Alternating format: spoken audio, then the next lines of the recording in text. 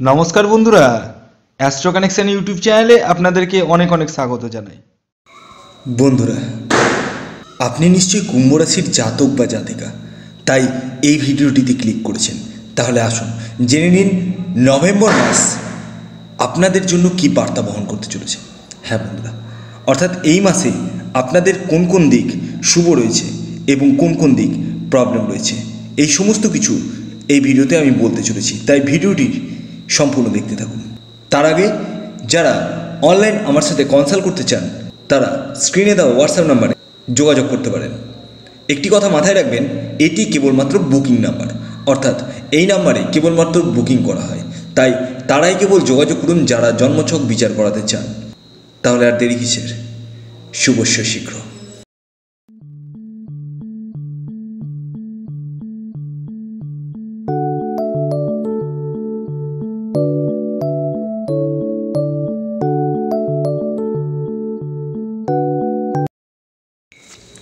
কুম্ভ রাশির জাতক জাতিকার নভেম্বর মাস কেমন যেতে চলেছে তা আমি অবশ্যই আপনাদের সামনে বিশ্লেষণ করতে চলেছি।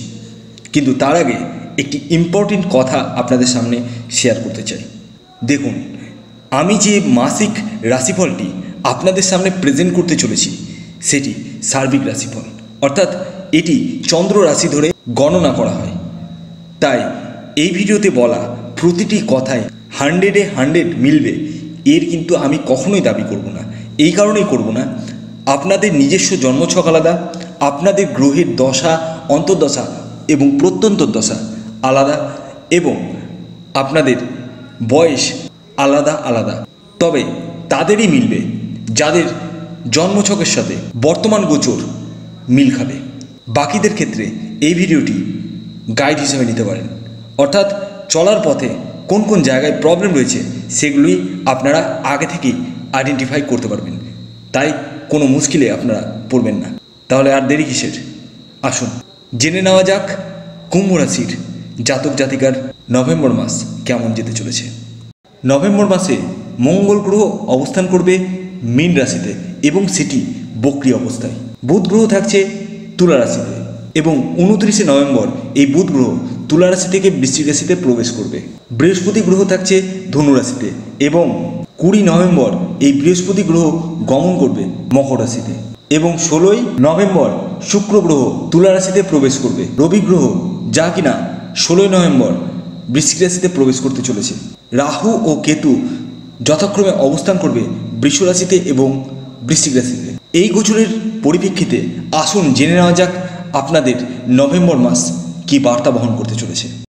আপনাদের তৃতীয় পতি ও দশমপতি ধনভাবে অবস্থান, কাজেই কুম্ভ রাশির জাতক জাতিকাদের ধন সঞ্চয়ের প্রবণতা বৃদ্ধি পাবে। এই সময় আপনি কিছুটা মৃতব্যয়ী স্বভাবের হয়ে উঠবেন, অর্থাৎ যাকে আমরা চলতি ভাষায় বলি কিপটে।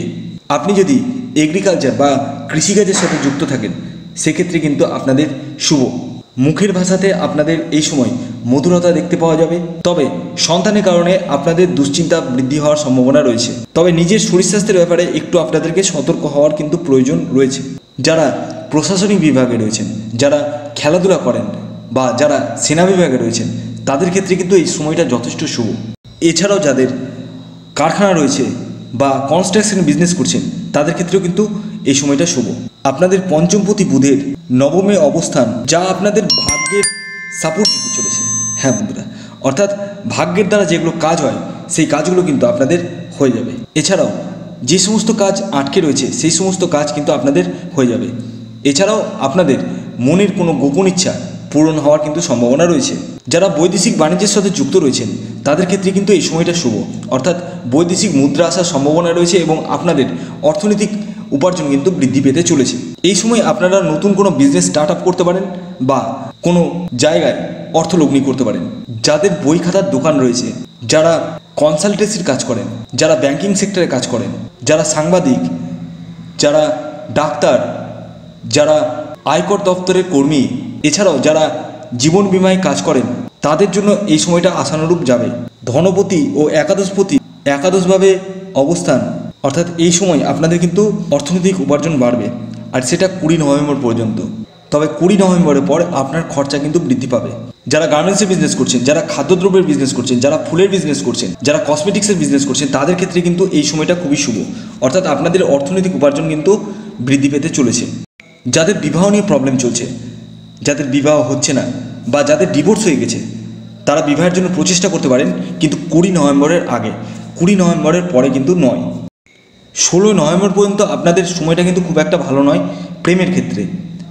প্রেমে বাধা পেতে পারেন, প্রেমে আঘাত পেতে পারেন। তাই এই ব্যাপারে অবশ্যই আপনারা নজরে রাখুন। এই মাসে আপনারা বাড়ির থেকে বাইরে সুখ, আনন্দ এগুলো উপভোগ করবেন। তবে এই মাসে আপনারা কিন্তু পরক্রিয়ায় কিন্তু মেতে উঠতে পারেন। তাই এই বিষয়টা অবশ্যই আপনারা নজরে রাখুন। এই মাসে কয়েকটি সতর্ক বার্তা আপনাদের সামনে তুলে ধরতে চাই। এক নম্বর, আপনারা এই মাসে কাউকে টাকা ধার দেবেন না এবং টাকা ধার নেবেন না। এই দুটি ক্ষেত্রে কিন্তু প্রবলেম আসবে। এছাড়াও কাউকে হুট করে বিশ্বাস করবেন না। বিশেষ করে যারা প্রেম বা প্রেমজ সম্পর্কে রয়েছেন বা নতুন কোনো প্রেমে আবদ্ধ হচ্ছেন, হুট করে কিন্তু বিশ্বাস করবেন না। এবং এই মাসে আপনাদের ছোটোখাটো দুর্ঘটনা হওয়ার কিন্তু সম্ভাবনা রয়েছে। তাই যারা বাইক চালান, যারা ফোর হুইলার চালান, তাদেরকে বলব একটু সাবধানে চালান, কারণ বাড়িতে কেউ আপনার জন্য অপেক্ষা করছে। তো ওভারঅল যদি বলা যায়, কুম্ভ রাশির জাতক জাতিকার এই মাস মোটের উপর দিয়ে শুভ যেতে চলেছে।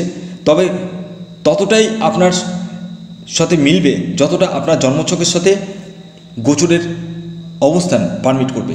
তো ভিডিওটি কেমন লাগল অবশ্যই জানান, যদি ভিডিওটি ভালো লাগে এখন একটি লাইক করে দিন শেয়ার করে দিন এবং এখনও বন্ধু সাবস্ক্রাইব না করে থাকলে লাল রঙের সাবস্ক্রাইব বাটনটা ক্লিক করে পাশের বেল আইকনটিকে অন করে দিন এবং অল করে দিন, যাতে সমস্ত রকম নোটিফিকেশান আপনারা আপনাদের ফোনে পেতে পারেন।